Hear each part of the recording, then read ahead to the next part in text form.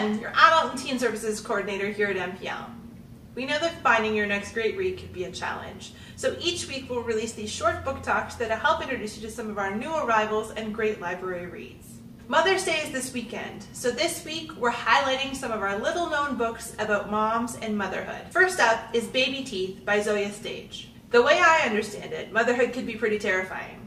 In this psychological thriller about a twisted mother daughter relationship, Suzette isn't afraid for her daughter, she's afraid of her daughter.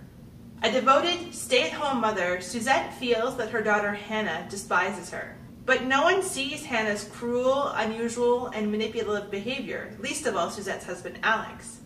Is Hannah the sweet seven year old Alex thinks she is? Is Suzette going mad? Or are Suzette's fears valid and is Hannah trying to kill her mother? Perfect for fans of Ashley Audrain's The Push. Next up is Class Mom by Laurie Gelman. The first in a series, Class Mom is a hilarious novel about the petty and surprisingly cutthroat world of parent politics.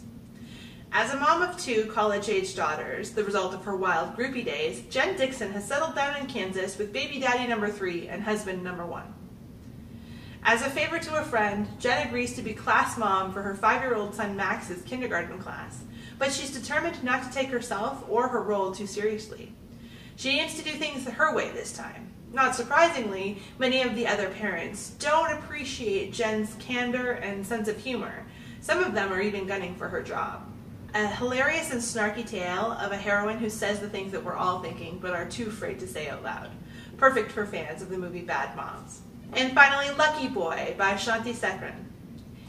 In this touching story, readers meet two mothers bound together by their love of, for one lucky boy. Soli is a young, undocumented Mexican woman in California, and when she's placed in an immigrant detention center, her son comes under the care of Kavya, an Indian American wife, overwhelmed by her own impossible desire to have a child. As Soli fights for her son, Kavya wraps her heart around someone else's child.